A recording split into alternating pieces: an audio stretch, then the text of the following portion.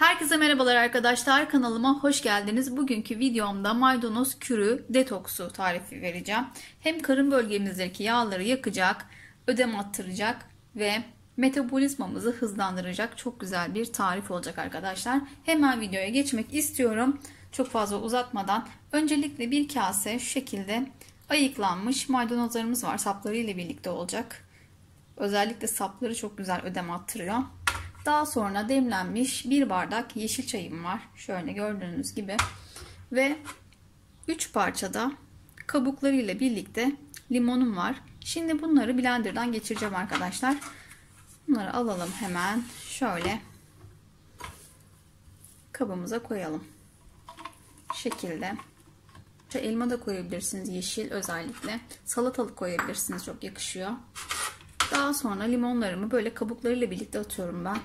Siz limon da sıkabilirsiniz sadece. Ama böyle daha faydalı oluyor arkadaşlar. Ve daha sonra da şunu yeşil çayımızı üzerine ekliyoruz. Şimdi bunu ben blenderdan geçireceğim.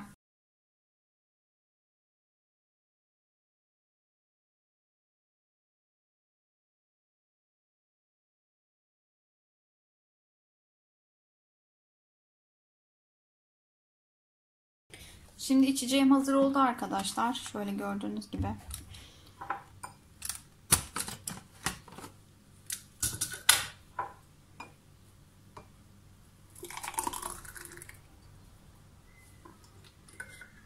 İçeceğim hazır. Gördüğünüz gibi rengi de çok güzel.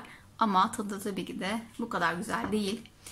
Ee, bunu nasıl kullanıyoruz? 15 gün boyunca sabah kahvaltılarından bir saat önce içiyoruz.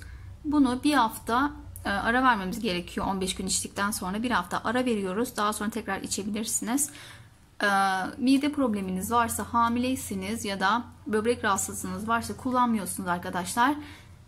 Bu kadardı. Eğer videom hoşunuza gittiyse lütfen beğenmeyi unutmayın. Kendinize çok iyi bakın arkadaşlar. Like atmayı da lütfen ihmal etmeyin. Bir sonraki videoda görüşmek üzere. Hoşçakalın bay bay